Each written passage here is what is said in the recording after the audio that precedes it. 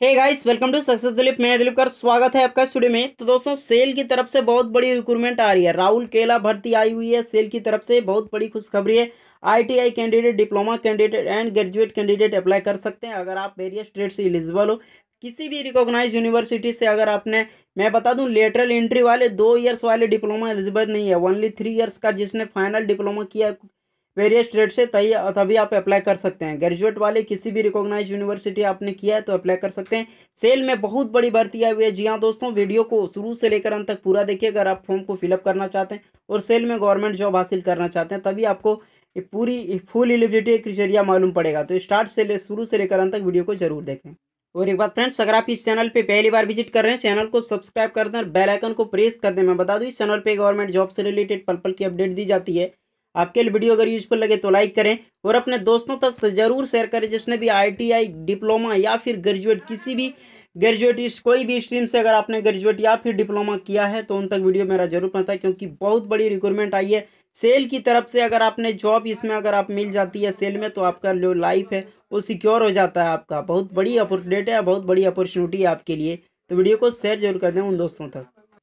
तो गाइज़ ये इनका ऑफिशियल नोटिफिकेशन आप देख सकते हो। ये नोटिफिकेशन का लिंक मैंने डिस्क्रिप्शन में दे दिया, वहाँ से आप डाउनलोड करके इसको बढ़िया से रीडअप कर सकते हो आप। देख सकते हो सेल ऑथर यानी steel authority of India limited जो कि राउरकेला स्टील प्लांट की तरफ़ से, राउरकेला का नाम आप बेहती से आप जानते होंगे स्टील प्लांट बहुत बड़ी स्टील प्लांट है वहाँ पे। डेट एडवर्टाइजमेंट की बात करें तो बाईस छः दो हज़ार उन्नीस को यहाँ पे एडवर्टाइजमेंट निकाला गया है। यहाँ पे चार तरह वेरियस पोस्ट पहले।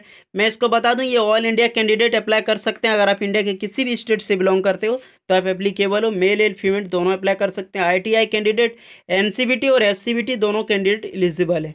यहाँ चार पाँच तरह की पोस्टें निकली हुई पहले बात करें एग्जीक्यूटिव की है, फिर आपका नॉन एग्जीक्यूटिव की है। उसके बाद यहाँ पे आपका बॉयलर की रखी गई है, उसके बाद ऑपरेटर कम टेक्नीसियन की है, ऑपरेटर कम टेक्नीसियन ट्रेनी है, आपका फिर एडेंटेंट कम टेक्नीसियन ट्रेनी है यहाँ पे यानी चार तरह की पोस्टें टोटल टोटल आपके यहाँ पे निकले हुए। एक यहाँ एलिजिबिलिटी क्रिचेरिया की बात कर रहे हैं टोटल पोस्ट वाइज आप देख सकते हो। यहाँ पे कैटेगरी वाइज अपना पोस्ट ज़रूर देख लीजिएगा कि कितनी कितनी पोस्टें यहाँ पे रखी गई है। आप जैसे कि बात करें मैं एग्जीक्यूटिव की तो आप देख सकते हैं मैनेजर की है मैनेजमेंट ट्रेनिंग की है junior manager junior manager quality testing अन की है। टोटल वैकेंसी यहाँ पे दिया हुआ ग्यारह छः छः तीन, नौ, ऐसा करके आप देख लीजिएगा। कैटेगरी वाइज अपना पोस्ट आप यहाँ पे देख सकते हैं क्या क्या ओबीसी या एसटी वाइज कितनी कितनी कैटेगरी डिग्री। मैं फाइनल बताता हूँ मैनेजमेंट ट्रेनिंग की बात करें तो यहाँ पे बैचलर डिग्री आपके पास होना चाहिए नहीं ना फुल टाइम बैचलर डिग्री आपका है government fire engineering from government किसी भी गवर्नमेंट यूनिवर्सिटी से आपने किया है। 18 से लेकर 28 ईयर्स वाले कैंडिडेट इस वैकेंसी के लिए पोस्ट के लिए एलिजिबल हैं। जूनियर मैनेजर की बात करें, जो कि सेफ्टी वन के लिए 18 से 30 ईयर एज है आपका। बैचलर डिग्री आपने फुल टाइम किया है any branch for engineering technology for government recognise university से। तो आपके लिए एलिजिबल हैं इस पोस्ट के लिए। बाकी बाद पी डिग्री वाले और डिप्लोमा कैंडिडेट वाले दोनों एलिजिबल अगर आपने इस पोस्ट से आपने किया हुआ है तो qualifying marks and degree in engineering दोनों के लिए यहाँ पे एलिजिबल है। फिर आपका बात करें डिप्टी मैनेजर की बॉयलन एंड टर्बाइन ऑपरेशन की 18 से लेकर सैंतीस ईयर सैंतीस ईयर्स तक के कैंडिडेट एलिजिबल है। मैं बता दूँ, ये टोटल जो एज में बता रहा हूँ, इसने एस टी ओबीसी वालों के लिए छूट मिलेगा आपको, याद रखिएगा। फाइव एंड थ्री इयर्स का जो रिलैक्सेशन मिलता है, वो रिलैक्सेशन आपको मिलेगा। इसमें भी आपका बैचलर डिग्री और आपका पोस्ट ग्रेजुएशन एंड डिप्लोमा अगर आपने किया है तो अप्लाई कर सकते हैं। यहाँ पे अपना परसेंटेज देख लीजिएगा एसटीएससी वाले और जनरल ओबीसी वाले और ई वाले यहाँ पे। जूनियर मैनेजर की बात करें, यहाँ पे एज भी आपका अठारह से तीस है और बैचलर डिग्री और आपका यहाँ पे डिप्लोमा किए हैं तो आप एप्लीकेबल हैं अप्लाई कर सकते हैं। फायर ऑपरेटर की बात करें, अठारह से लेकर अट्ठाईस ईयर्स कैंडिडेट एप्लीकेबल हैं। ग्रेजुएशन अगर आपने किया है, sub officer course for national fire service college Nagpur and valid यानी ओनली ये नागपुर से गए यहाँ पे आपको ड्यूरिंग अपने, आपने किया motor vehicle heavy motor vehicle का फायर ऑपरेटर का, तभी आप एप्लीकेबल हो। अब देख लीजिएगा इसको, बढ़िया से। ऑपरेटर कम, टेक्नीशियन, बॉयलर की करें अठारह से तीस ईयर आपका रहना चाहिए, मैट्रिकुलेशन विथ ईयर्स यानी मैट्रिक यानी टेंथ प्लस अगर आपने तीन साल का अपना डिप्लोमा किया है, वेरियस ट्रेड से मैकेनिकल, इलेक्ट्रिकल, केमिकल, आपका पावर प्लांट, ये बहुत इंपॉर्टेंट है। ये आपको मैं बता दूँ, डिप्लोमा वाले ये ज़रूर अप्लाई कीजिएगा, ऑपरेटर कम टेक्नीशियन बॉयलर और ऑपरेटर कम टेक्नीशियन ट्रेन ये आप लोग के लिए बहुत इंपॉर्टेंट है और बहुत अच्छी अपॉर्चुनिटी है। इसमें भी दोनों कैंडिडेट में आपका डिप्लोमा होना चाहिए, परसेंटेज अपना अपना देख लीजिएगा। अटेंडेंट कम टेक्नीशियन ट्रेनिंग की बात करें तो आपका अट्ठारह से लेकर अट्ठाईस तक एज होना चाहिए। यहाँ बात करें तो matric with ITI full time अगर आपने टेंथ प्लस आईटीआई किया है फीटर ट्रेड से, मैं यहाँ पे बता दूँ ओनली फीटर ट्रेड इलिजिबल है। फीटर के अलावा यहाँ पे कोई ट्रेड मेंशन नहीं किया है। तो जिस कैंडिडेट ने फीटर किया, उनके लिए बहुत बड़ी अपॉर्चुनिटी है। सेल में जॉब करने के लिए मौका दिया जा रहा है। आप इस पोस्ट के लिए ज़रूर अप्लाई कीजिएगा। सिंपली अगर आपने टेंथ विद आईटीआई किया है तो एलिजिबल हो आप। Fire cum, fireman cum, fire engine driver यहाँ बात करें तो इनका भी एज वही है। इसमें आपका सिर्फ़, अगर आपने मैट्रिक पास किया, टेंथ पास किया तो आप एलिजिबल हो, लेकिन आपको यहाँ पे एक साल का या फिर उससे अधिक का एक्सपीरियंस होना चाहिए। हैवी मोटर व्हीकल का आपका ड्राइविंग उसके बाद लाइसेंस भी आपका ज़रूरी है।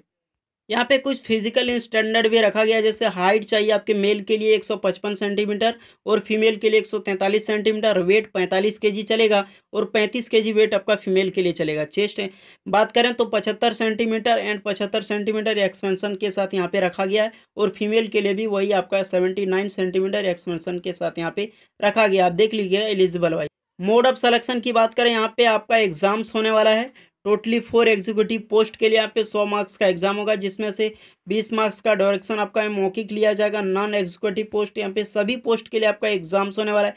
ये एग्ज़ाम आपका देख लीजिएगा टेस्ट सेंटर आपका चार सेंटर यहाँ पे दिया जाएगा, जो कि उड़ीसा में ही होगा। राउरकेला, भुवनेश्वर, संबलपुर और कटक, इसमें आपको एक पोस्ट को आपको यहाँ पे च्वाइस करना पड़ेगा। सर जिसमें आपका रिजर्वेशन में मिलेगा, जो उड़ीसा कैंडिडेट और एस टी एस सी वालों के लिए। Age relaxation five point three years का मैंने पहले भी बता दिया आपको। एप्लीकेशन फ़ी आपका लगने वाला पाँच सौ रुपया उन कैंडिडेट जो एग्जीक्यूटिव पोस्ट के लिए अप्लाई कर रहे हैं, पाँच सौ रुपया लगेगा। और अढ़ाई सौ रुपया लगेगा जो उनके वाले the post operator cum technician training and operator cum technician boiler operator and fire operator training के लिए कर रहे हैं। वो अढ़ाई सौ रुपया देंगे, बल्कि डेढ़ सौ रुपया देंगे जो टेंथ विद आई टेक्नीशियन के लिए आप जो ड्राइवर के लिए और आईटीआई फिटर के लिए अप्लाई कर रहे हैं, उनके लिए आपको मात्र डेढ़ सौ रुपया यहाँ पर पैसा लगने वाला है। पेमेंट आपको ऑनलाइन ही करना है, ऑनलाइन फ़ी पेमेंट करना है, net banking, credit card, debit card से आपको ऑनलाइन अप्लाई भी करना, फिर आपको पेमेंट करना। हाउ टू अप्लाई ये क्रिचरिया आप देख लीजिएगा, ये अप्लाई का डेट जो है, वो सामने नहीं आया यहाँ पे डेट आप देख लीजिएगा टोटल क्या क्या अपलोड करना है, इसको बढ़िया से रीड कर लीजिएगा। उसके बाद ही अप्लाई कीजिएगा। अगर आप फॉर्म को इसको फिलअप करना चाहते हैं तो कमेंट कीजिए, मैं फॉर्म फिलअप करने वाला वीडियो आपके लिए बना दूँगा, जिसमें स्टेप बाय स्टेप बताऊँगा कि कैसे आपको फॉर्म को फिलअप करना है। इंपॉर्टेंट डेट आप देख सकते हो स्टार्टिंग डेट सबमिटिंग एप्लीकेशन दस जुलाई दो हज़ार उन्नीस से स्टार्ट होने वाली है। अभी तक ले नहीं हुई है। दस जुलाई से स्टार्ट होगी और आपका क्लोजिंग डेट की बात करें तो इकतीस जुलाई को यानी क्लोजिंग है। इकतीस जुलाई तक लास्ट डेट है। आप इसको फॉर्म को फिलअप करते हैं। तो गाइस जनरल इंस्ट्रक्शन जो भी था मैंने बता दिया। आपको फिर से कोई क्वारी है तो आप कमेंट कर सकते हो उसके आपको रिप्लाई दिया जाएगा। आई होप गाइज़ आपको वीडियो अच्छा लगा। लाइक करें, अपने दोस्तों तक ज़रूर शेयर करें। जिस कैंडिडेट वेरियस ट्रेड या फिर वेरियस क्वालिफिकेशन से रिलेटेड अगर आईटीआई डिप्लोमा ग्रेजुएट या फिर सिंपली अगर टेंथ पास भी किया तो एप्लीकेबल अप्लाई कीजिए क्योंकि बहुत बड़ी अपॉर्चुनिटी है वीडियो के लिए। तो मिलते हैं अगले वीडियो में, तब तक के लिए जय हिंद।